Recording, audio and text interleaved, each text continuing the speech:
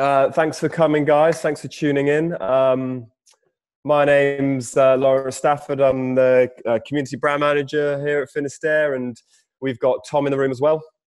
Um, Tom will be with you shortly.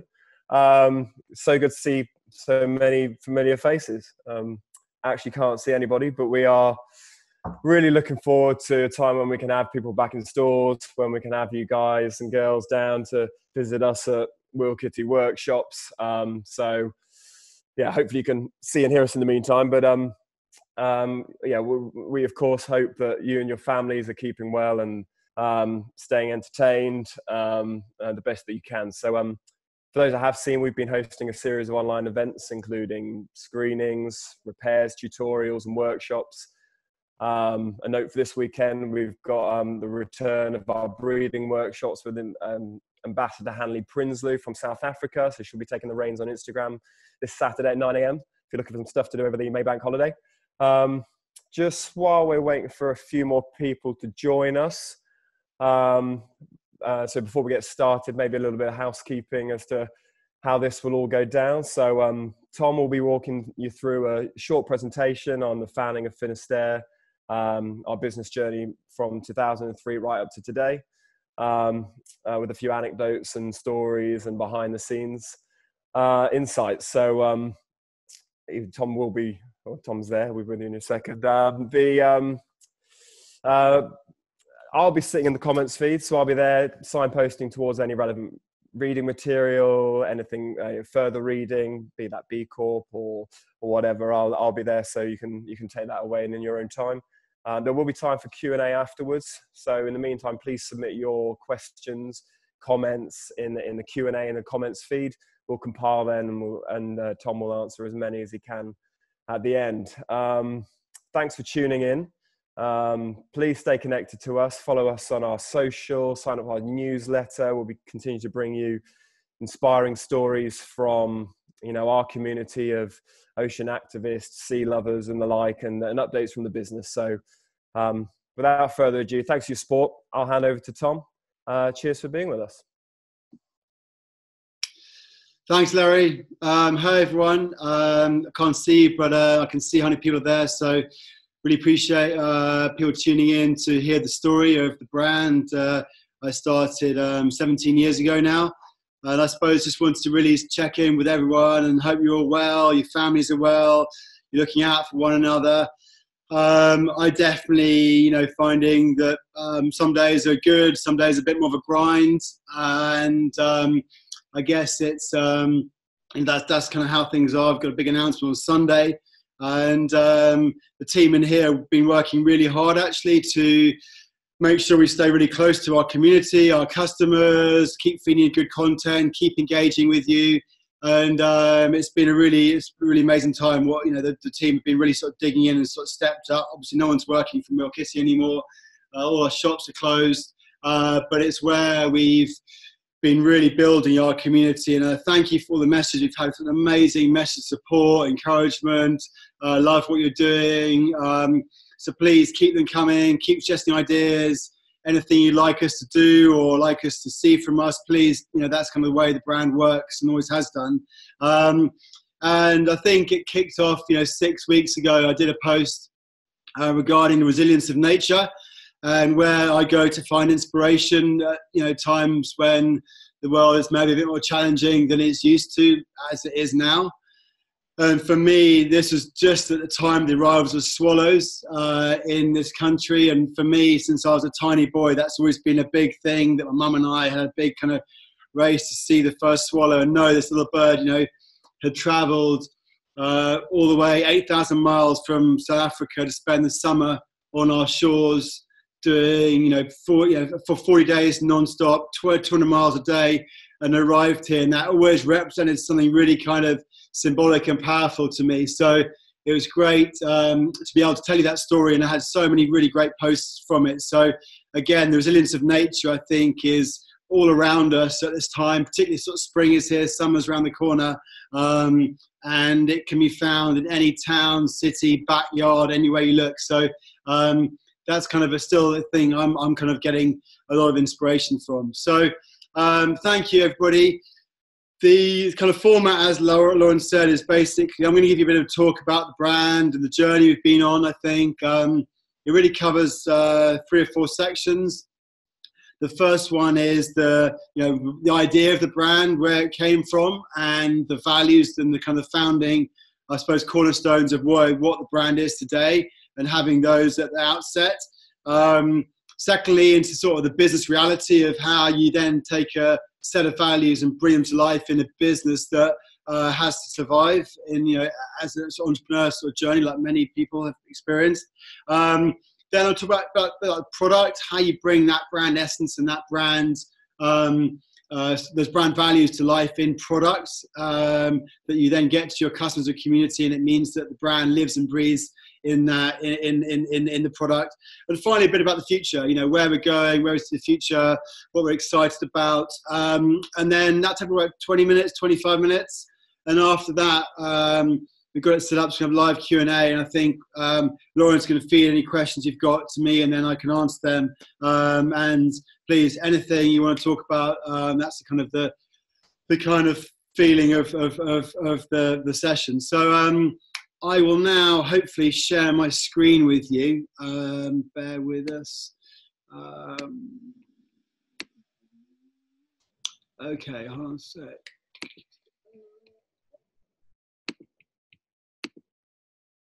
Hold on a sec, everybody. Uh,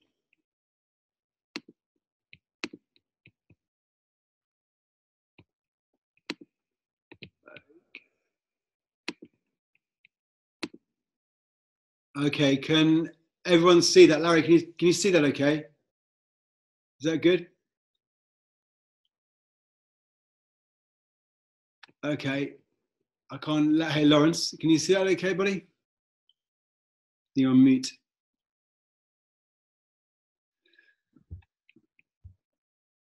All good? Yeah, all good there, Tom. I think everyone else is good. Yeah, crack on.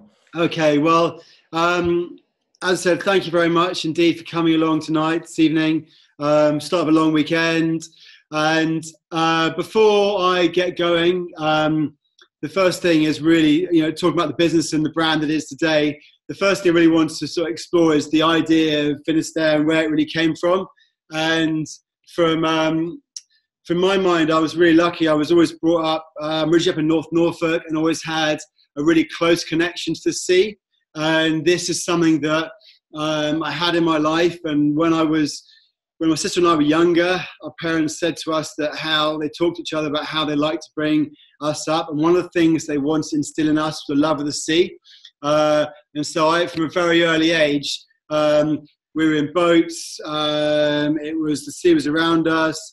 Um, I got into windsurfing, sailing, all the sort of you know sea connectivity you'd imagine up in North Norfolk. And then I think when I hit sort of um, 14 or 15, um, the I sort of discovered surfing. Um, and uh, the, the picture I've got up on the screen here is a really amazing one. It's actually one of the first um, images that I thought I like kind of that really tuned into me in terms of what the brand could become. And it's a photo of a rough sea. It's the, the best photo I've ever seen of a rough sea.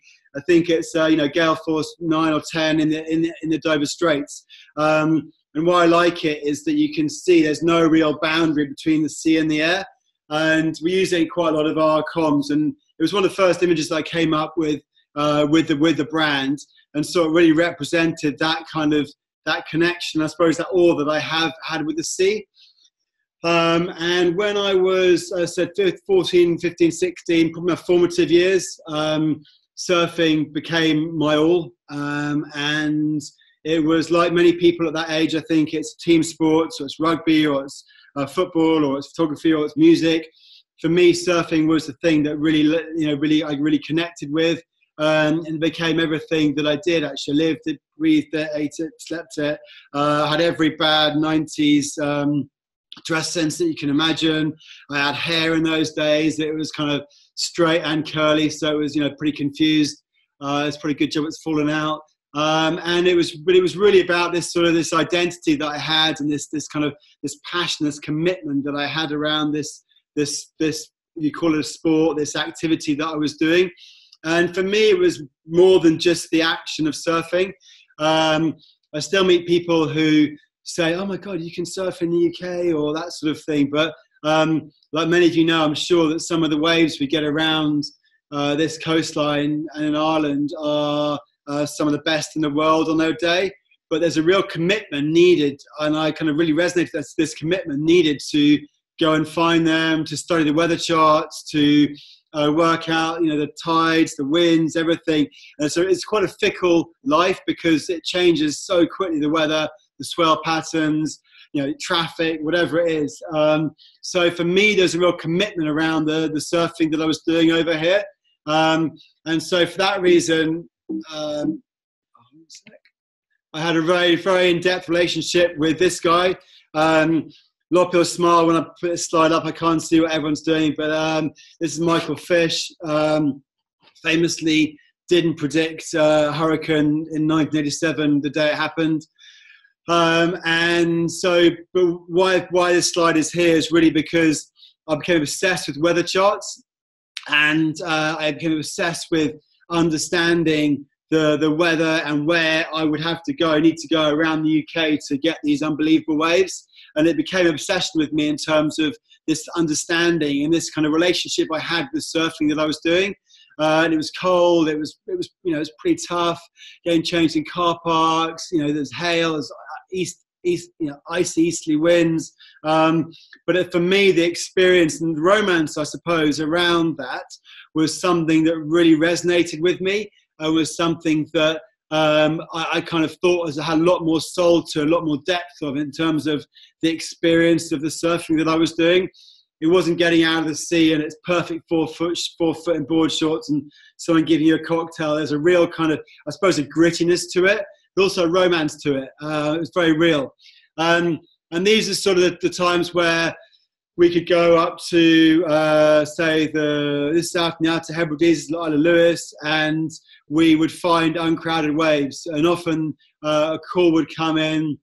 Um, it'd often be from Al Mackinnon, who's a good friend of the brand, myself and the brand for a long time. And he'd be like, guys, there's a way, you know, the, the chart's looking good for this part of the country. And we, we would drive for, um, you know, for, for, for, hours to get there. And this is, you know, this is us in the tent, uh, really living and breathing the brand and it's really about the, the, waves we discovered there. That's actually frost on the ground.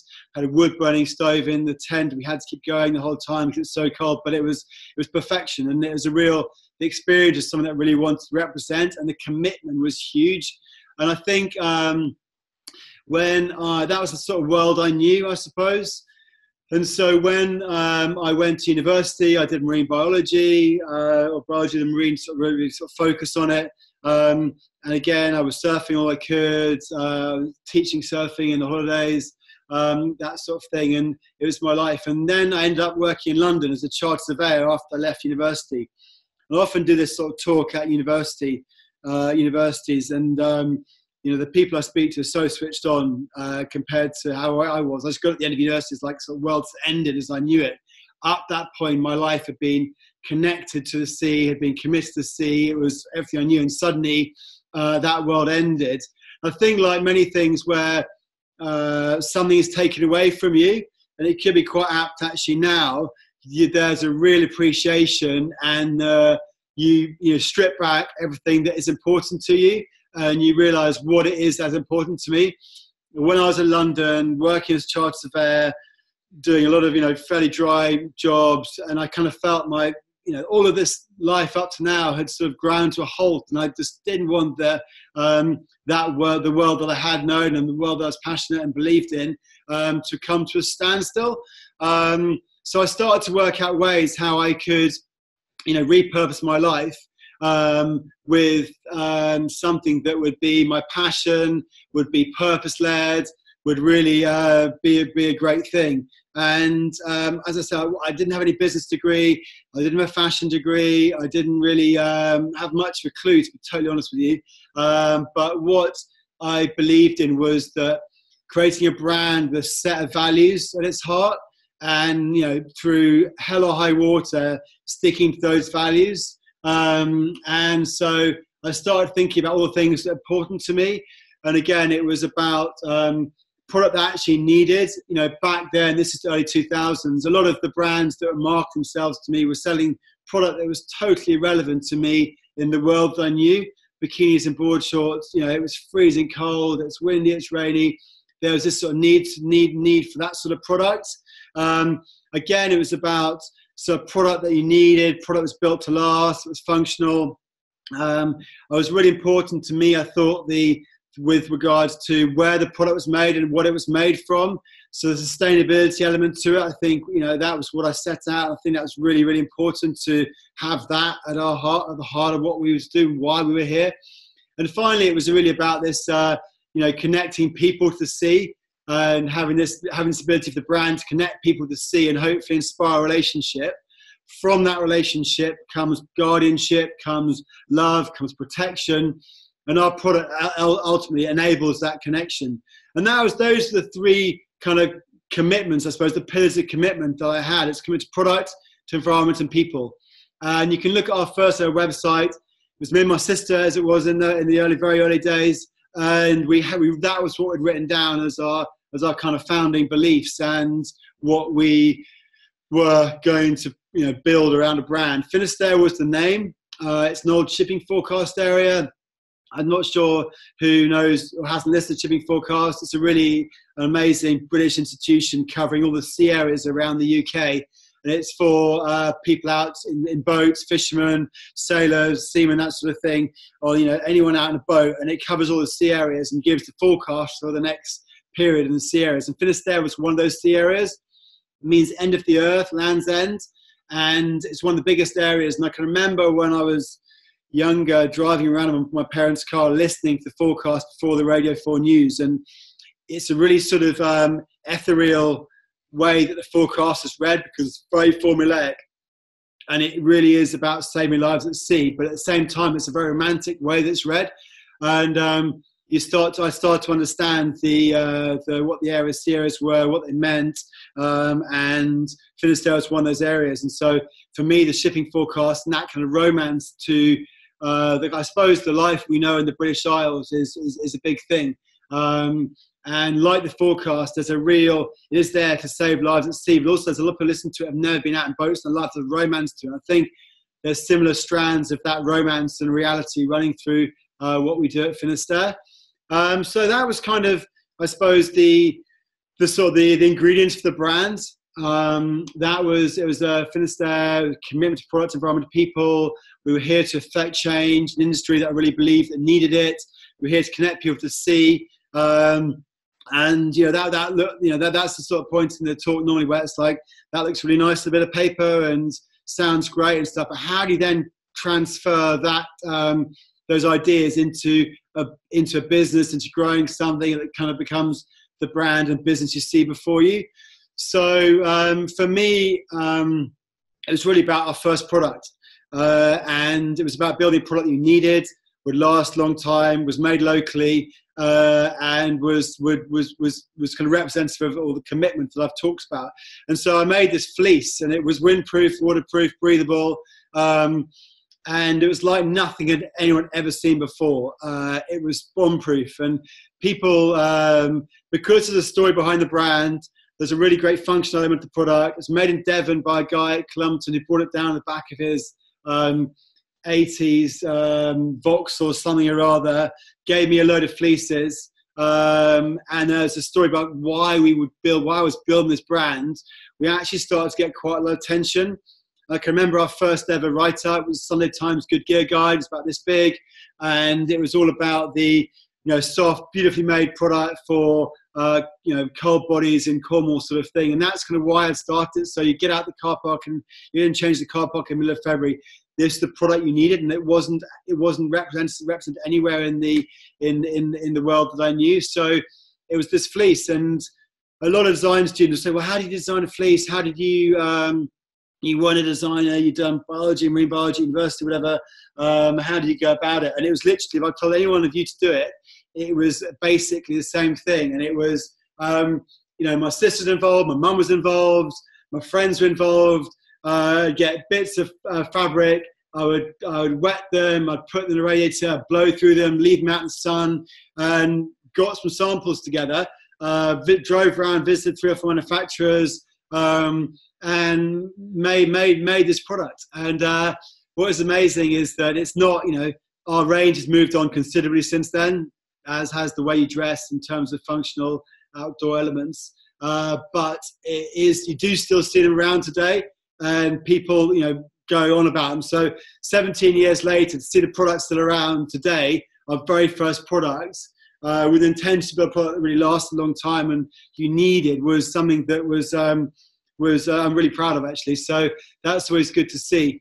Um, and then it was a three-page website. It was in the flat above uh, my above the surf shop in St Agnes, about 300 meters from where I'm talking now. Uh, and it was a dial-up modem.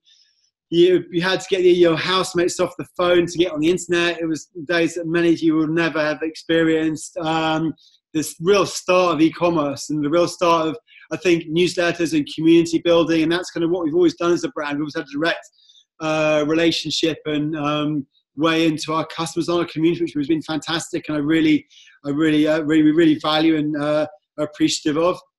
Um, and it was a three-page website. Uh, one page is the brand commitments I've talked about. The other page is the surf forecast I used to write. And the third page is the product. and uh, we used to get checks in the door and I said package and send out fleeces. I was working part time. Um, Mondays and Fridays, I'd do the, the, the Finisterre. Tuesday, Wednesday, Thursday, doing all sorts of jobs. Uh, and that's kind of how it started out. And um, I think those early days were really about that um, conviction, that kind of blind naivety, and that optimism about like what you can believe is possible. And I think it's really exciting when you see that in businesses because that kind of um, that kind of conviction and that you know not overthinking stuff and going do you know what? Uh, seven out of ten is enough to make a decision. Let's go for it because we really believe we are changing the world. Is a really powerful thing to be part of um, and so uh, the next part of that journey was really about starting to build a team together uh, a bunch of people that could help out build the, the, the brand and sort of get together and be around a table and we're still that's still the office across the road from Wheal Kitty now. That wetsuit hanger is still there. The the dogs are sadly gone. Uh, Dave's in the business, Deb's in the business. you know, two guys that have been around since the very start. And it was about helping us build build a real a really exciting brand. And I think you know that that idea of uh, talked to quite a lot of business uh, startups about it, and that idea when you are you know six people and you are around a table, it's obviously very stressful for the money situation, the, the small business stresses, that sort of thing. But that kind of collective purpose and that power and that real belief that you are here to change the world is very, very powerful. So they were really good days. Uh, they were stressful days for a number of reasons. Um, but it was uh, about building a team, and it's great to see uh, Dave and Deb's really kind of uh, big parts of the business, you know, uh, 10, 10 years later as it was then. So it was then about building a range and starting to sort of put a product together. And I think that's kind of, um, if I look at back at the business, I think the first five years when it was probably just me on my own mainly uh, was really about, I often say we're like a 15 year old human. The first five years didn't really know what we were doing. The middle five years were actually quite stressful and we probably uh, poked a few bears and we were kind of a bit, you know, working out who we are. The last five years, we've really kind of come into who we are as a brand and a business and why we're here. Uh, but all the way through that, that period, the founding commitments of a commitment to product, environment, and people have always been there. And that's been our, like our true north, our kind of guiding star with regards to the decisions we make in the business. And um, so I often urge, I urge, urge businesses and brands to have that, you know, when you're starting something out, what is it you stand for? What is your point of difference? You know, what is going to be your true north that's going to guide you and stop you going off piste around decisions that probably are not good for the business or the brand. So uh, we've had those challenges, you know, it's uh, going into market, shouldn't have gone into, you know, trying, you're trying to say no to stuff when you've got to make ends meet and you've got rent to pay, wages to pay. Um, they're tough times, but it's um, it's it's really about the, the people that have joined along the journey as well. And that's one of the things that I'm really proud of in terms of the people that have joined the business. And I always want to set the brand up that was somewhere that had a really strong culture to it, uh, where we had an amazing bunch of people. And in the last seven weeks, that's been proved to me time and time again with um, the team that we have in place is probably 85 people in the business now. We have 10 stores. We sell internationally. The product range is, you know, over 200 um, units or 200 plus units in the range every season. So there's a lot going on in the business, but um, it's about this exciting purpose, about connecting people to see, building products to enable that connection, and that kind of real higher vision that we have that really gets everyone out of bed together and out of bed uh, and keeps us really tight together. So um, really exciting times, and uh, I think that's kind of gone from the, I suppose, the founding sort of ideas into the business reality um, of how you then take that and grow a team, um, and you have every single challenge that I think small businesses have. Uh, and plus, we're trying to do something different and you know pioneering and innovative, and you know bring a sustainability agenda to the table when there wasn't one. Uh, so we're trying to do quite a lot of quite a lot of things there, not just start a brand uh, or business. There's a lot going on around the values of the business. So it was really challenging. Um, and but something that we all believed in and were really excited about. Um, and so I suppose the next sort of stage of the talk is really about the um, how you then bring that brand ideas into the business values into sort of life. And I've got I think three or four examples of uh, where we've brought the brand and product together in some really great great um, great examples. And you may have seen these, but I'll bring them up anyway. Um, so the first one is the Bowmont projects. And um, in 2008, we won the Observer Ethical Business Awards. And that was quite a big deal for us because we'd been going for five years, slogging away down here, um, trying to make ends meet, trying to do something differently, and then starting to get uh, you know, a, kind of recognition, I suppose, from a publication like that that's so well respected that, hey, look at Finisterre, they're doing something different in the right way was huge. And as part of that, we decided to try and bring some of our fine fibre um, manufacturing back to the UK. A lot of fine fibre you'll find in merino wool, and it's very important that it's a fine fibre so it's not, not itchy next to the skin. Um, and so look, that often comes from New Zealand and Australia. And so, but if you drive anywhere around the UK, you usually see sheep uh, in the fields. So we thought there must be a fine fibre source of our wool in the UK. So we looked high and low. We found a sheep farmer in Devon called Lesley Prior, a fantastic lady, um, an amazing farmer and so passionate about rare breeds. And she'd found a fine fibre sheep called the Bowmont um, and collected the only Bowmont remaining Bowmont flock back to her farm in, in on the edge of Exmoor. And there's only 26 sheep, and that's not enough to make any products. So we're in a situation where we've got an intention as a brand right, we find fibre sheep. It's, we want to source something, our product more locally. Uh, and we have a lady who's, you know, knows animal husbandry and farming really well, but she's only got 26 sheep. What, what do we do here? And because we had a, the, the sort of true north around the brand values and now our guiding stars and, you know, lead us in the right direction, what we decided to do, we're going to shear and store the, store the wool for three or four years. Meanwhile, Lesley was going to grow the flock out and we get to a stage where we had enough wool and the flock was big enough, big enough to make some product. And that's what we did. And I think it's um, quite unusual for businesses to take that long term view. Um, and we didn't see a, a return on our um, commitment for over four years. Uh, when he made a Bowmont uh, bit of knitwear, that's one of the examples you see before you. And they're beautifully made uh, Bowmont wool, soft, soft wool, uh, 100% resurrected supply chain. Our product teams did a fantastic job to bring to life. Um, and it's a really great example of product environment, people coming together. You've got the product there, you've got the environmental story being a locally sourced natural fiber. Wool is such a great fiber uh, and source of uh, many of our products. Uh, and there's a people element to it as well, which is so important in terms of our relationship with Lesley. It's now over 12 years old and uh, it's still growing strong. Lambing happened about uh, three or four weeks ago. There's now 300 plus um, um, sheep in the flock, British Merino, and it's a really great example of, I think, the brand coming together. Um, and I often talk about it actually in, um, in talks that I do because it's also a really good example of uh, something that I didn't expect to happen when I started Finisterre. I didn't say I'm going to start Finisterre and in five years' time I'm going to start a Bowmont program, but because you have a set of principles that you stick to and you believe believe in you know believe in and you really kind of um, you follow it really means that uh, these opportunities present themselves and you get to that situation and have we not had those you could have either said well it doesn't make any much economic sense we're not going to sell any product for um, for four years why would you bother doing it and uh, because we had that we did bother doing it it's one of the proudest things that um, uh, one of the proudest things I'm around the business in a minute is the Bowmont project. It's so so exciting. And then we got asked to go to Savile Row as part of Prince Charles's campaign for wool. Uh, I got my John Deere boiler suit on. I'm a bit of a closet farmer, so I was chatting farming to all these people who were walking down Savile Road going, "What the hell have you done to my street?" So a really cool, another sort of unexpected, um, unexpected consequence of uh, um, having a set of uh, beliefs at the heart. So that's the first example, Bowmont uh, project. The products are out every autumn, winter, and you know it sells through really quickly. So um, the next uh, example I have um, of how the brand can really bring to life in in a product is uh, our swimwear.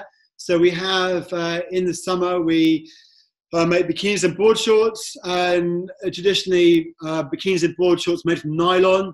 Nylon's actually a very hard wearing um, polymer, but it's actually quite a dirty one in terms of the environment to make and very hard to break down. So it's okay in its life, but if you're looking at a kind of a circular business model, it's not um, it's not great. So uh, we found a business called Econyl, who are based in Slovenia, about three or four years ago now. And what they do is they repurpose uh, discarded nylon from part recycled fishing nets and there's 640,000 tons of fishing nets floating around the ocean at any one time. So it's a big, big, big problem. And old office tiles, and they repurpose them into an amazing five nylon fiber. And so this is great because we can use it in our bikinis, using our board shorts. We're now using some of our jackets as well. And it's great because it's actually a product you're wearing to go in the sea. It's made from part made from um, something that's come out of the sea and you know taking the rubbish out of the sea. So if we're brands about connecting people to the sea, how great that we have a um, a story around some product that is based around that.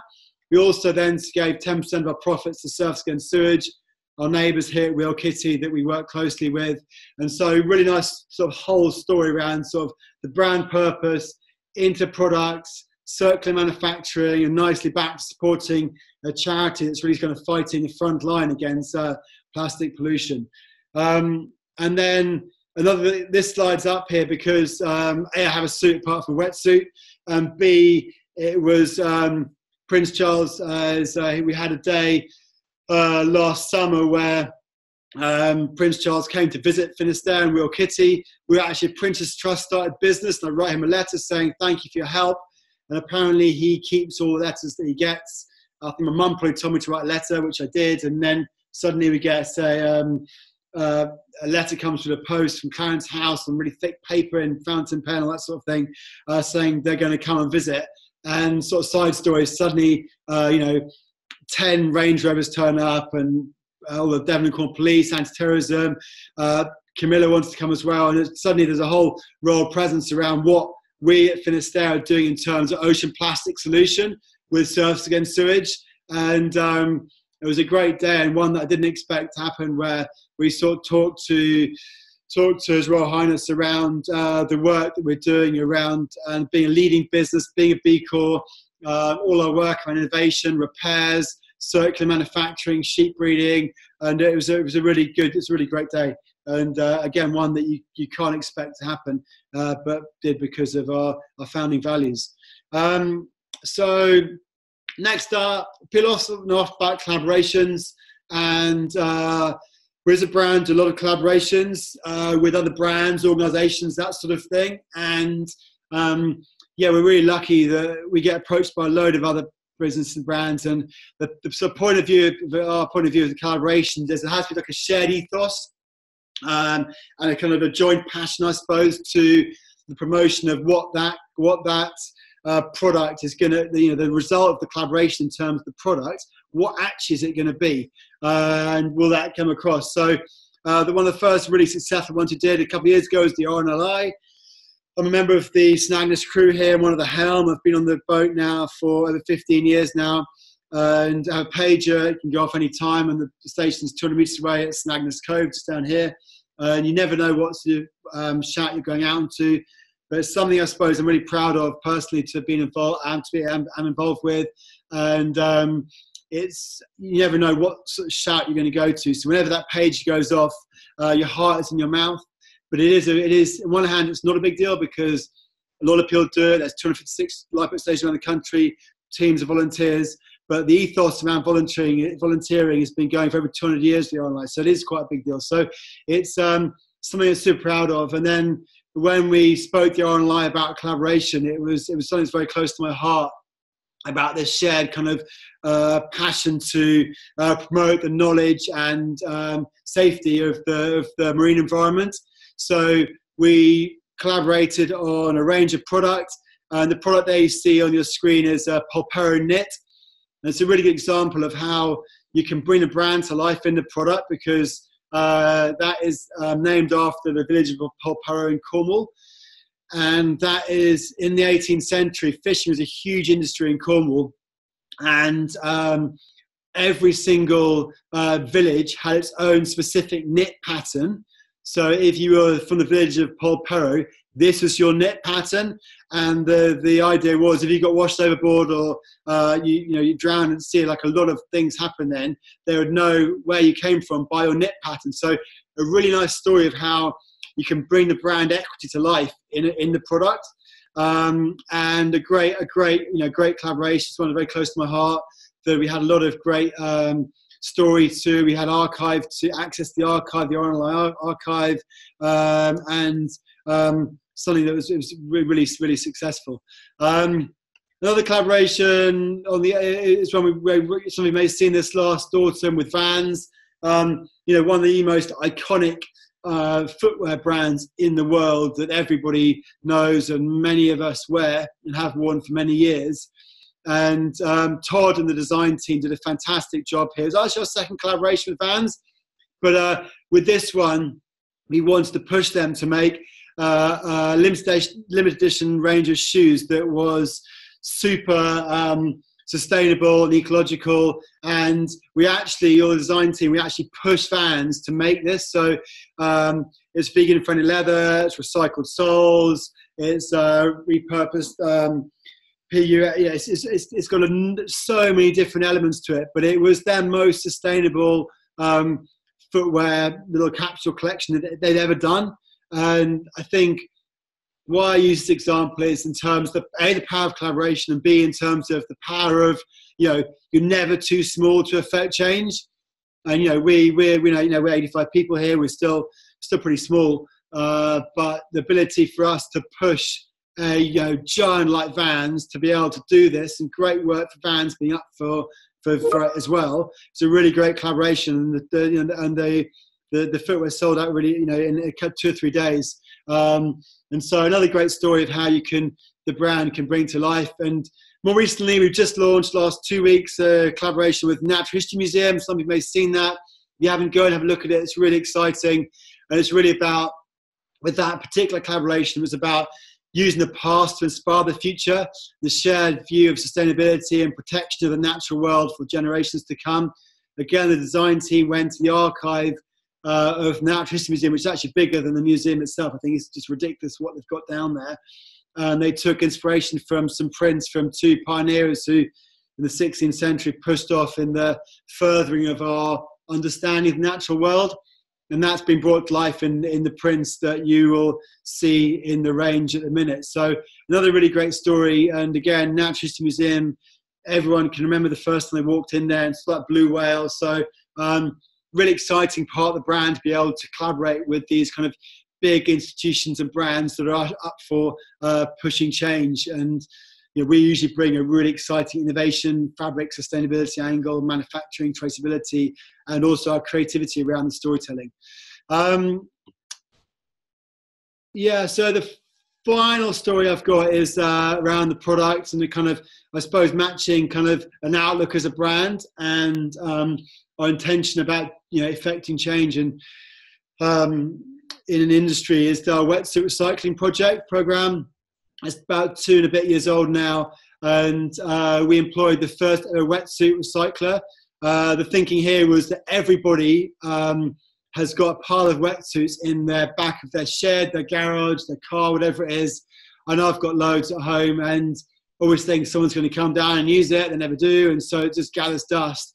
And so, while there's a lot of great progress around the use of alternatives for um, manufacturing of bio rubbers and tree rubbers, and we work with our with Yulex on our summer range of suits, uh, which is amazing. It's all about actually building a product that can, how can you increase, improve, in, introduce circularity into the wetsuit industry because wetsuit manufacturers they don't do it. They sell you wetsuit and you have it for a year and a half, maybe two years if you're lucky, it was a good one, and then that's it. And you have to go read. So there's no circularity at all. So how can we look at introducing that? And we employed the first ever wetsuit recycler, um, and that was quite an exciting, exciting sort of position for us to do. Trying to stop 380 tons, 380 tons of neoprene going to landfill every year. Neoprene is incredibly unfriendly, environmentally unfriendly. They actually used to line landfill with neoprene. It's that it's that unbiodegradable. Um, so it's all about the the circularity. We made we made a, we're testing at the minute the world's first recyclable wetsuit, and it's uh, again it's uh, we're not going to crack it in probably two or three years, but it's about the brand, the role of the brand, I suppose, with having an intention where there's a problem in the industry. Our role of the brand is what can we do to solve it, and how can we work it out, and what's our commitment to doing it? And we're going to employ someone to try and work it out, mentored by Exeter University, where they've got a Centre for Material Engineering, and try and figure this problem out. And it's not going to be a quick fix. It's not going to be sorted tomorrow or next day or next year even. But it's about this honest dialogue with our community and our customers and saying, listen, this is our intention. This is what we're here to do. And uh, um, I actually personally quite excited about things that are unknown and the brand's role in, in discovering that. Um, so, uh, and finally, uh, the sort of talking about the future and where the brand's going, what we're up to, and that sort of thing. I can't see a show of hands, but hopefully people have heard of B Corp, uh, B Corporation. For those of you that don't know, um, I've been aware of B Corp now for probably six, seven years. It was always something that I was intended the Finisterre to become, but because of a few other things with running business and keeping everything afloat. It didn't happen for a few years. But three years ago, it became B Corp certified. And B Corp is an independent um, body that verifies, you, know, you, part, you go through very strict environmental and social uh, criteria to become B Corp certified. It's open to any industry, any sector, any country, any size. Uh, and it's really about saying growing a business in the right way and you have to get assessed. You get above 80. If you get above 80, become B Corp certified. It took us about nine months to become certified and covers every single aspect of the business from suppliers, from governance, suppliers to employees to governance uh, to purpose statements.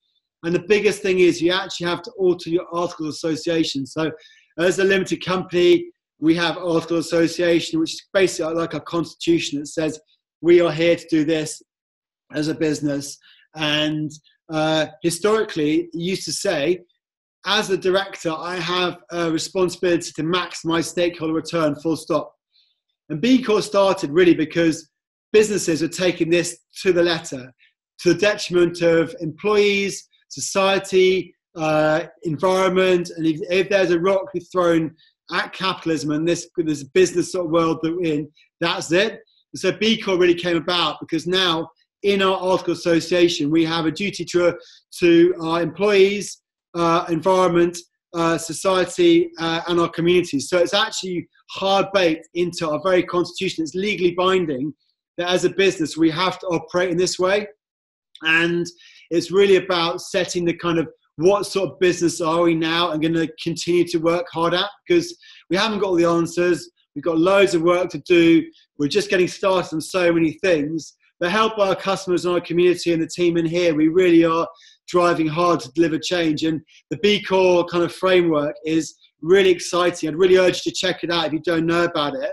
It's really gathering momentum, and it really is the business of tomorrow, our B Corp businesses, because they are saying it's okay for businesses to grow, but we have to be doing it in the right way. And doing it in the right way has a, uh, a huge regard to society, to employees, to our communities and the environment. And it's legally binding. And we're going to be assessed again uh, in January 21. We're working already around improving our score, getting better at what we do. It's a constant evolving process. We've just launched our 2021 uh, or 2020 impact report, which is saying by 2030 we're going to be a positive impact business across everything we do, product, environment, and people. And you can you can see that now um, on, the, on our website. And so, but it's again, it's about setting intention and saying this is what business we're going to we're going to become, and we are committed to doing that and working day and night to make the best product we can. Uh, promote circularity and have a really kind of strong community both out there and in here that is united by this common purpose of connecting people to the sea. Um, I think that's kind of that's kind of that's that's that's my my, my talk bit ended. Um, I can't see anyone. So I hope, I hope, hope that's been interesting and struck home with you guys. Uh, I think we're going to now hand over to Lawrence for a few uh, questions. Yes, we are. Can you hear me, Tom? Yeah, I can hear you. Tom can hear me. Cool. Yeah, loads of questions coming through. So I'm just putting the last couple into my master document. And we'll get to asking who you'd love to collaborate with. Pete. Great. Okay, we'll keep them coming. I'll keep referring to that Q and A column, and we'll, we'll try to crack through as many as we can. But yeah, thanks for that, Tom. Thanks for tuning in. I've heard the talk before, but I love hearing it. So, um, okay, let's get going. Yeah, question one um, from James K. Uh, hi, Tom what do I need to think about in having ethical and high quality t-shirts made? Um, so I guess a question of our supply chain.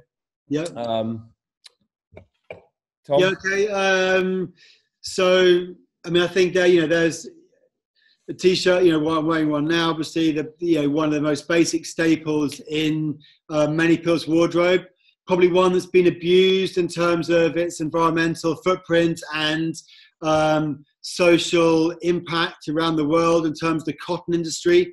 Um, so there's, you know, it's, it's, one that needs fixing. All our t-shirts are organic cotton, um, and there's a full sort of transparency element to it. I think there's interesting um, discussions around recycling of cotton now because uh, you can make uh, t-shirts now from recycled cotton, something we're looking at. So in terms of sort of circularity as, as, as a business, you know, yeah, it's the start of circularity is hopefully taking a material to make something with that has already been used to make something.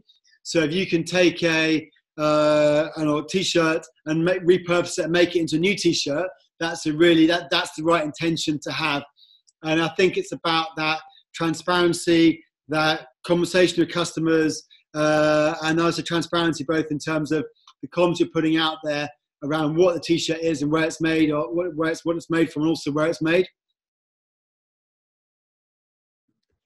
well great. I hope that answered that for you. Um, second up and we'll fire through these because loads more coming through um, is from carrie. Um, how have you protected those beliefs and values as the company has grown? Um, and can you describe a time when you felt like they might be compromised and how you navigated that? Very very good question. Um, i could talk a lot about this. So um, I think having it sounds really really simple, but having it written down on the wall is huge. Um, and so you know, if you ever in a moment, a down moment, or a moment of questioning, which which inevitably is going to come, um, you can look up and you can say, you know, your your your founding kind of beliefs and values are there, and that's what we stand for, and that they're there, and we are um, going to not deviate from those no matter what. And so that's the first thing in having them. And then I think it's about living and breathing them through the business. So our connection to sea, we with our team in here, we have Sea Tuesday where everyone spend starts work late and spends the extra time going in in around the sea. Everyone gets a wetsuit when they join. So again, it's about building a team that is equally and maybe more so kind of passionate and committed to um, the, the, the business and the brand vision. And in terms of times we've been, um, yeah, we've kind of been gone off stray. I think probably six or seven years into it, when there's suddenly there's like maybe ten people in the business, and it goes from being, uh, you know, suddenly starts getting quite serious. And I took that quite a lot on myself actually, in terms of making sure the the people I was working with were looked after, and you know they were, you know, they were um, yeah, I looked after them as well best I could. So there's quite a lot of pressure on that, and then with that comes an economic pressure. Early ecom days, nothing's really you know really taking off. We're going to trade shows. My sister's still involved a bit. We you know we're you know really you know trading like proper trading hard. Um, and so you probably go into markets or industries that are probably a bit off brand. So we probably did some things that you may, you know, like say we did some running shorts or some yoga pants, which are were very good products, but probably a bit dilutive for the brand and what we ultimately were there to do. But we kind of got led astray in terms of needing to kind of um, make some sales, I suppose. So I think that's probably my best example of a time where we kind of got we started to go a bit off piece and then look up at the wall why are we here you come back on track Great, cool. I hope that answered that, Carrie. Um, next up is from Matt Dusting, um, and one on the collaborations. Uh, what collaborations are on the horizon, and who would Finisterre like to collaborate with in the future? So maybe a sneak. I don't know if you can. Um, I can't reveal any collaborations that are coming, but there's some really exciting ones. Uh, autumn winter, um, a photo one autumn winter. It's really exciting, um, and then we are looking. There's a. I mean, there's. You know, I think Blue Planet would be amazing to collaborate with. I've been talks with BBC about that. That's sort of not going anywhere, but that you know that's great. You know, you know, in terms of capturing the essence of what we do through a different medium that really struck a global chord and having that kind of in the brand would be really exciting. Um, um, yeah, I think just stay tuned for collaborations. I, there's a few things I could talk about, but I think just I'd rather not reveal them right now. But there's some. Um, I'd like to do another one with the RNLI as well, actually, which uh, would be amazing because it had a great reach and such a great reaction, and it's such a rich part of the brand's uh, story. I think.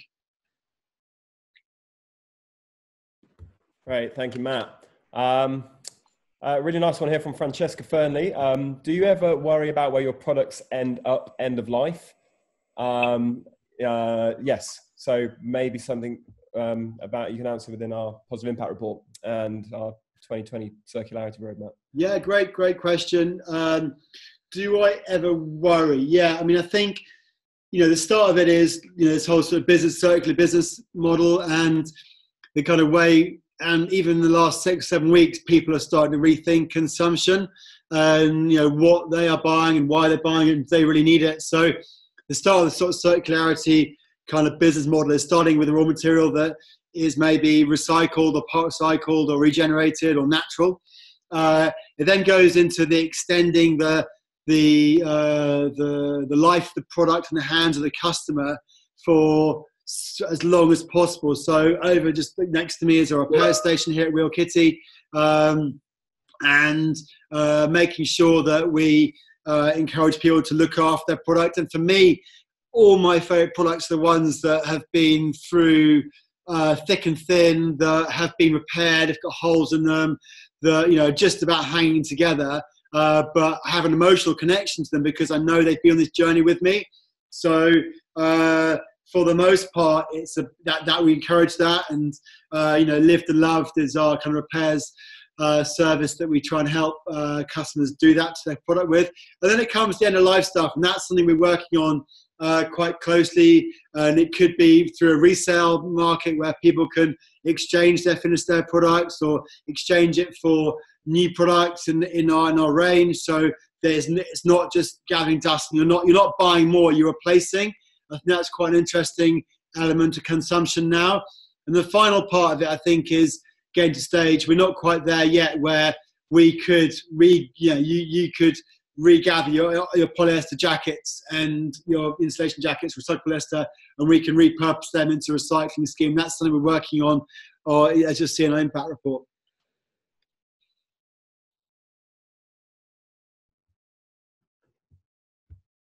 Great, cool. Thank you, Francesca. Um, next up, we've got another from James. Has the business brand always been successful? What's the biggest challenge you've had to overcome on the journey so far? Um, great question, James. I suppose it depends what you mean by success. You know, I kind of, you know, I suppose um, we're 17 years old now as a business, and we're still uh, it's it's mega tough on a financial footing.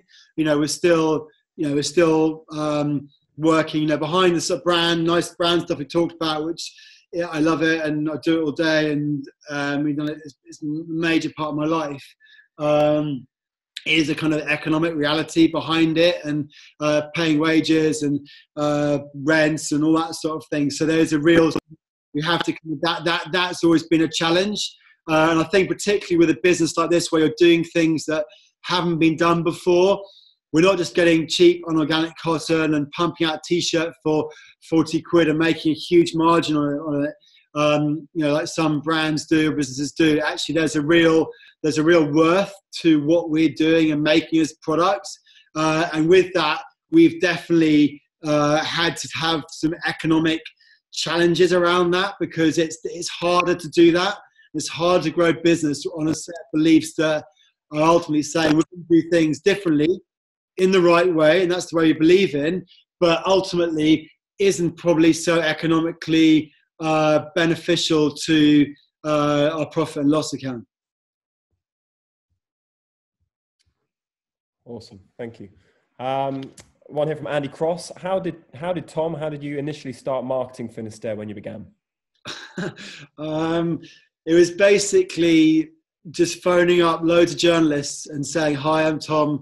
Make a top the ass of myself. Uh, you got to write about the story." And I think there's a few things. Firstly, it's about the sort of persistence and resilience. I think of an entrepreneur's journey when you just get knocked back all the time but if you have this sort of this belief this high purpose of what is what you can achieve and where you're going it is possible you know that that carries me through this this swamp of despair i call it where there's a really interesting thing you guys should look at you should google it. It's uh, the i think it's the graph of doing anything really worthwhile.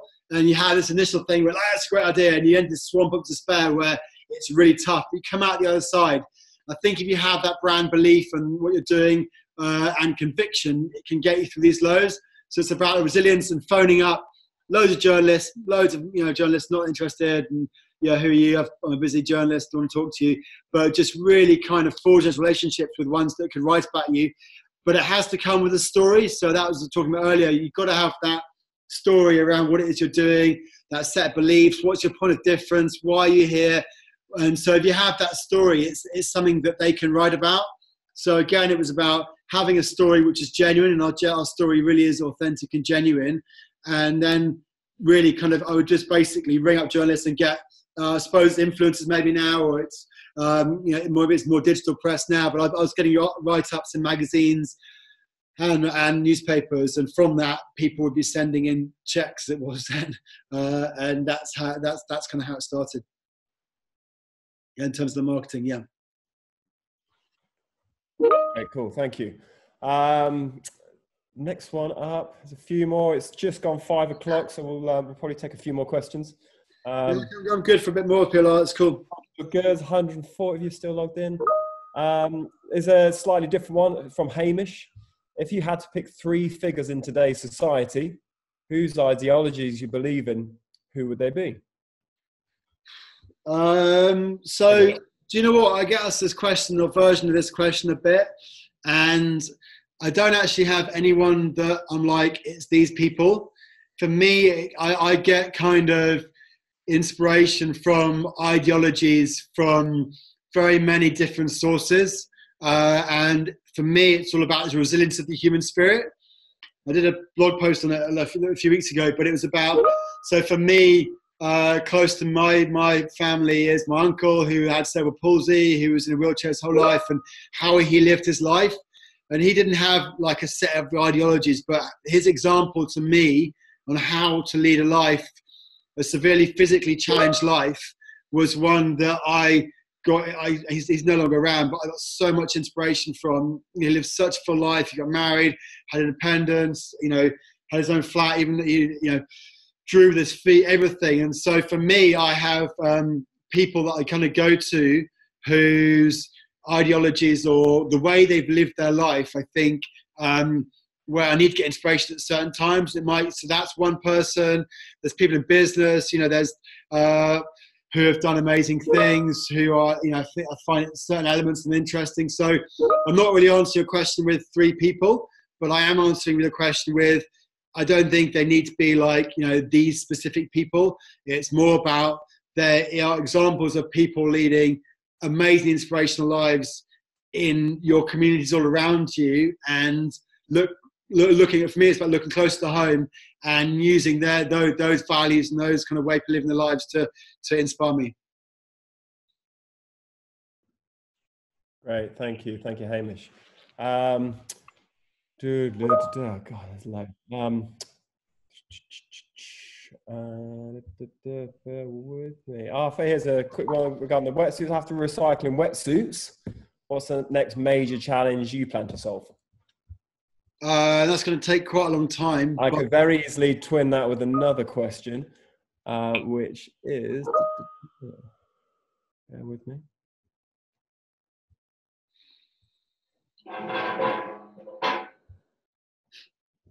There's lots of questions here, guys. Lots of good questions. Um, how do you see Finisterre's role in tackling climate change? Uh, and what more are you planning on doing? So, kind of. Yeah, right. I think I think if you if anyone wants to read the positive impact report, is a really good kind of our they're, they're quite big topics, um, but our view on what we're going to do as a business and the whole the starting point is that businesses cause damage. I've talked today a lot about um, what we're doing, and it's by no means saying we're perfect. We've got the answers or anything like that, but it is about it's um, it is about this um, outlook, I suppose, of business to really um, affect change and be the right sort of business. So it's moved from maybe having a negative impact now. And we're doing all we can to mitigate that. And our roadmap to being a positive impact business so that we um, have a positive impact. And that covers people, connecting people to sea, and hoping that by connecting people to sea, that's positive impact you're outside of environment. We've, we've signed up to being um, carbon neutral by 2030, uh, and it's around product, and that's the promotion of circularity in everything that we do. So, so I probably haven't answered your question exactly, but there's elements to the positive impact report that will flesh that out. And if you want, if you want to get back to other questions after that, please do. Cool, thank you. Uh, I've just dropped the link to the positive impact report in the chat column there, guys, so please head on over. Um, another one here is clearly Finisterre was ahead of the curve on consumer attitudes towards the environment and sustainability, which has allowed for leadership in this field. Um, what advice would you give to brands that are looking to embrace these values now? Um, so I think there's a few things. I mean, here going here. I mean, basically, the first thing is that um, you can't start a brand or a business today without um, having these things, you know, into your your business. It's kind of like yeah, people sort of say, "Hey, I'm starting this brand. It's sustainable." I'm like, it caught you that that isn't new news. So they should absolutely be a you know a really strong environmental sustainability element to it. And the bigger thing is the the purpose side of it. And you know, what are you what what impact is your business going to have on the world beyond just being a business? And that could be society, it could be environment, it could be effect. There's many many things you it could do, but I think you've got to have that. For me, that's that's the big thing. Is it's underneath everything you have sustainability, traceability, maybe your B Corp, that's all going underneath it. But above that is this bigger purpose. It's like, you know, what is our over the top kind of battle cry. What are we you know what are we what are we here to do? What's our, purpose? And how can we live and breathe that every single day um, in in in in we're doing? It's a you know if you get it right it's a really powerful thing. Cool. Thank you whoever sent that one. I think it might have been an anonymous. Um, next up. So um, is Finisterre or creating any initiatives to educate our younger generations about sea conservation and being a responsible business? Yeah, that's a great question. So I think um, we do a lot of talks. A lot, of, you know, I mean, younger generation, you know, kind of we do loads with the university. Um, do a lot of talks with schools and you know both sort of secondary schools and, and primary schools.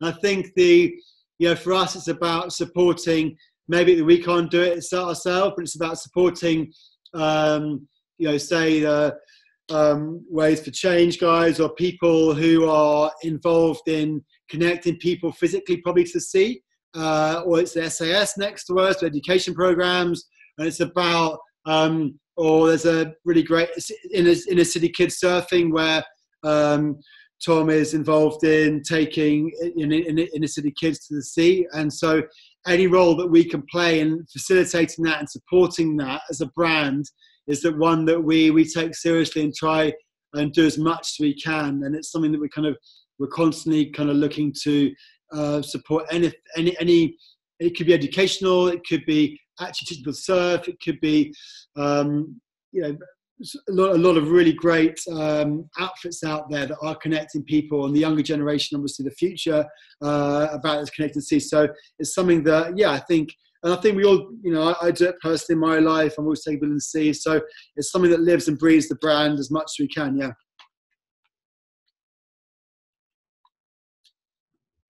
That's super cool. We'll take a couple more.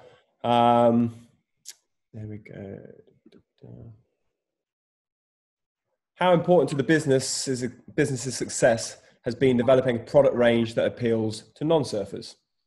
Uh, yeah, I mean, it's you know, know, sort of surfing is the sort of story I talked to you guys about at the start, and so my kind of route into it. There's always been this much wider connection to sea, and um, it's really about making the sort of product that can enable that connection. So, every, you know, everyone has a relationship with the sea, in my opinion, and it could be one that is very immersive, where you are you live in the sea and you're in it every day.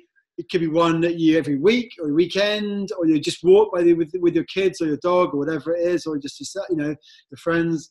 Um, or it could be one that you just you know you go down to sea every once a year. So there's this kind of scale of relationships that people have with the sea. And I think our product is really built to enable that connection. And that could be a wetsuit or something for the immersive people or you know bikini or a billboard short.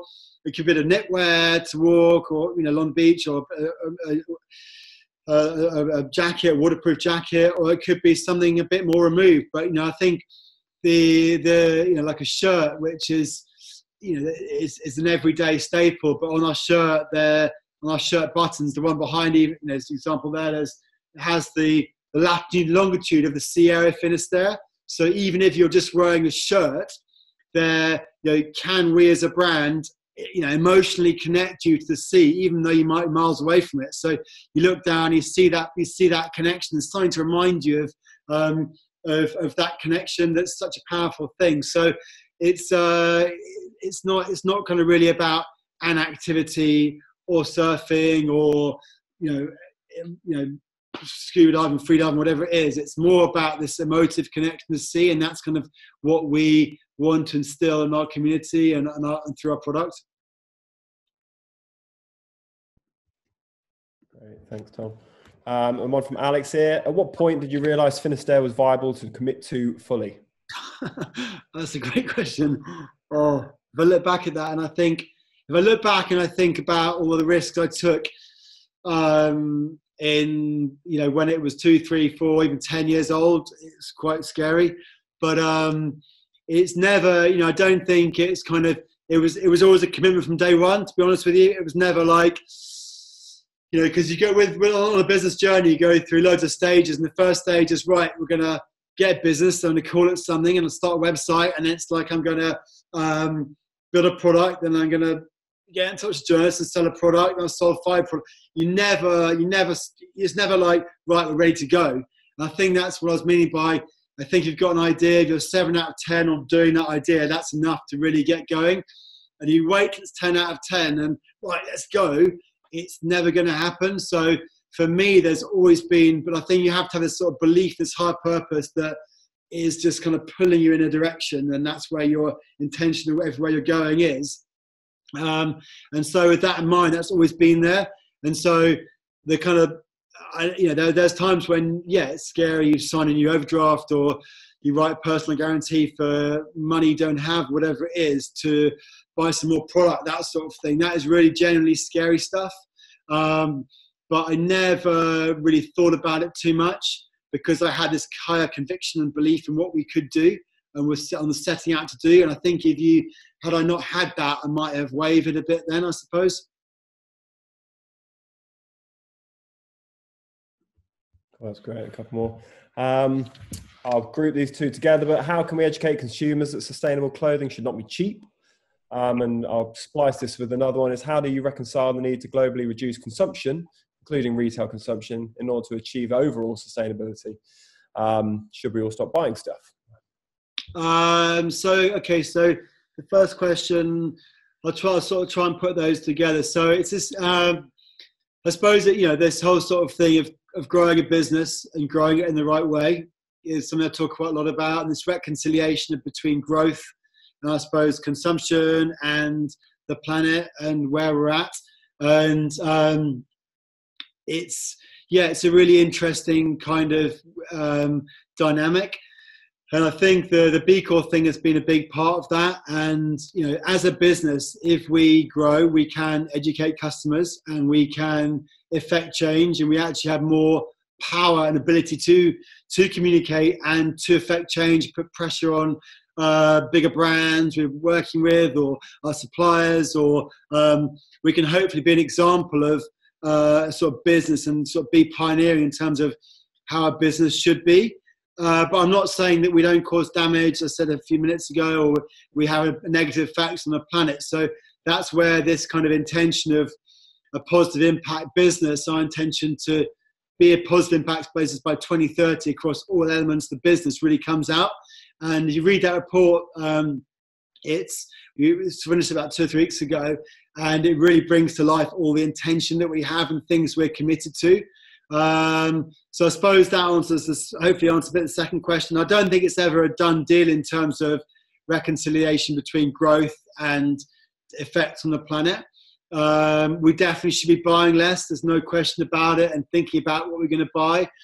In terms of the first question, in terms of the education of worth of product, that's something that we're always always doing, and you know, people on social media are always calling out um, the price for products and it's not you know we're not saying this product is for everybody but this is our this product that we see here has been built in this way by this brand uh, with, with, this look and this fabric by these manufacturers that you can find out about.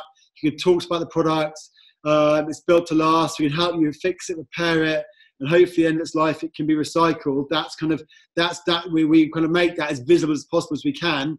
And that's kind of our view and there's an economic thing that falls down at the bottom of that and this is how much it costs. And i think our product is actually really really fairly priced.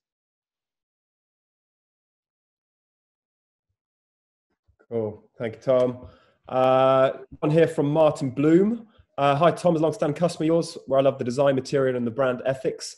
I'll be interested to know your vision for the business and whether you see yourself in every high street or whether you'll be selected in physical rollout and retain your individuality um, definitely not. So we have 10 stores or nine stores. Um, and the role of the stores has been really successfully done by Lawrence is um, they're places people could go and meet and spend time in and plan trips on. And if the brand could be a facilitator for connecting people, that was a, that was a real privilege that I felt we had as a brand. And so um, people would go to our London store and go to events and meet at events, then go on trips together or do stuff together. You know, that is what an amazing thing for the brand to be able to bring people together. So, really, really, um, you know, real privilege for us to be able to do that. And we kind of, that was that was the that is the, what is the role of stores. You can obviously buy product there. You can see the products, but they're not they're not. It's not like a crazy rollout um, with you know 50 stores around the UK and the way things have changed in the last seven weeks that obviously you know there we're kind of looking at what the role of retail is um, moving forward. Um, but um, yeah they've always been you know like this some in the snagger store now really great place where you can go and see and touch the product and meet people. And it was always a it was always to support the digital part of the business. Cool. thank you tom. And uh yeah, thank you for that question. Um, the um, yeah, the store. Looking forward to the stores reopening again. Um, you know, they're they're they're catered for our events. our store staff in there are you know, well versed in the in the in the brand and the product and the you know our, our best advocates. So it's um yeah we really look forward to to having everyone back in store. Um, one here, really nice one. You mentioned how important your mum and your sister were at the start of the business. Can you talk a bit about women getting on the path of entrepreneurship um, in a still uh, very much male-dominated world? Um, yeah, I'd actually, I, I, don't, I, don't, I mean, um, yeah. So my mum and sister, big parts of my life.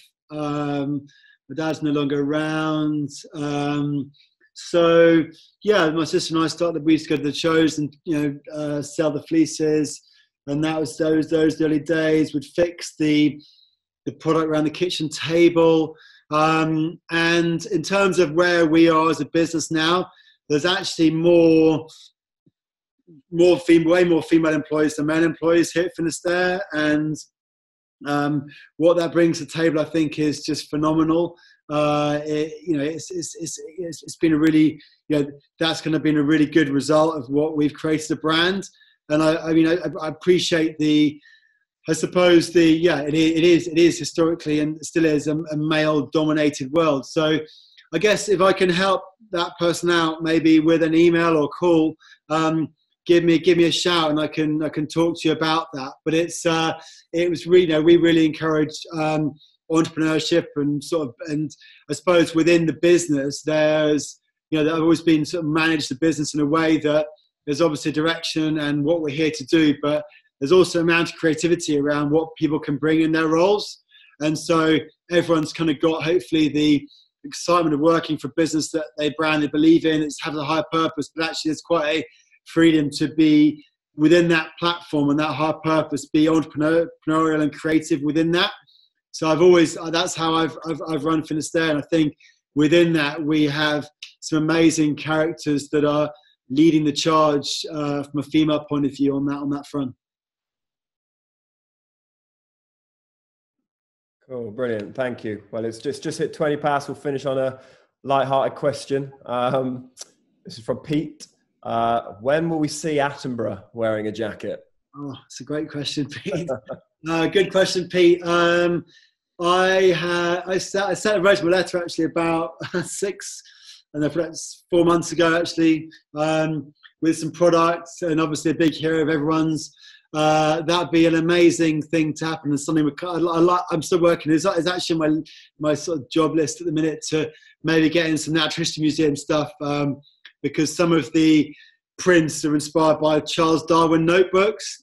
And it's really interesting. They're great, beautiful illustrations. But in his notebooks, he actually wrote horizontally and vertically. So there's to save paper.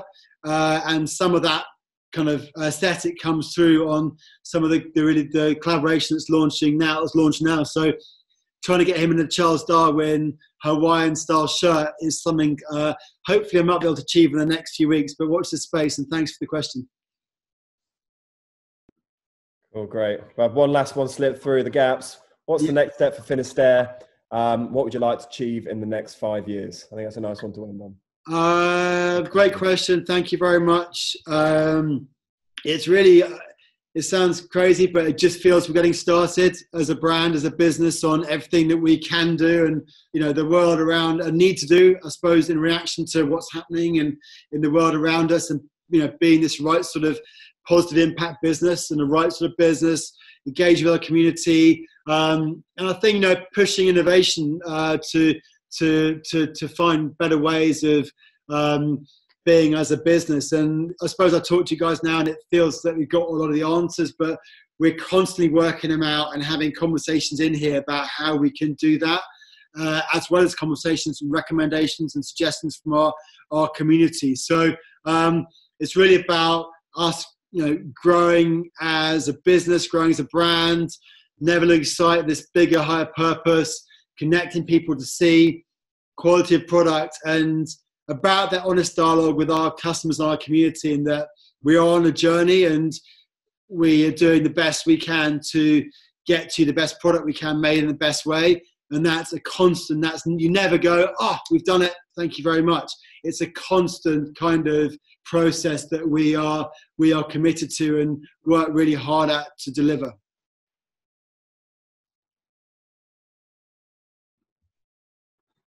Oh, well, I think that's a good good one to end on. Um, thanks everyone for tuning in. Um, this we will generate a link. Uh, um, we'll pop it on our YouTube page, and it'll be free from tomorrow and across the weekend. So please share. Um, like I said, head over to our social where you can see what we've got coming up over the coming weeks, months, um, updates from the business, uh, behind the scenes stories, and, and, beautiful storytelling from our community. Um, get in touch with us at hello at finisterre.com for anything else. And um, yeah, we look forward to stores reopening, Wheal Kitty being open, and, and being able to join us in the flesh. Um, and some final words from Tom, I guess. Yeah, just say thanks very much, everyone. Uh, I can't see, but um, I can see some of the comments, and uh, yeah, really appreciate everyone listening in. And hope that's been interesting insight to the journey, and you know that's honestly how it is. And we're really honest with the brand, so um, it's great to be able to just sort of tell you how how it all happened and stuff. So uh, thank you very much. Thanks for the questions. As I said, we we're, we're still here. We're still uh, working hard to really communicate and talk to you guys and get you good content. So uh, please give us ideas, feedback, suggestions, share stuff you like, and um, you know stay well. And uh, um, hopefully we can physically meet um, some stage in the future. Cool. Cool. It's safe. Good weekend, guys. Take care. Bye. Bye bye.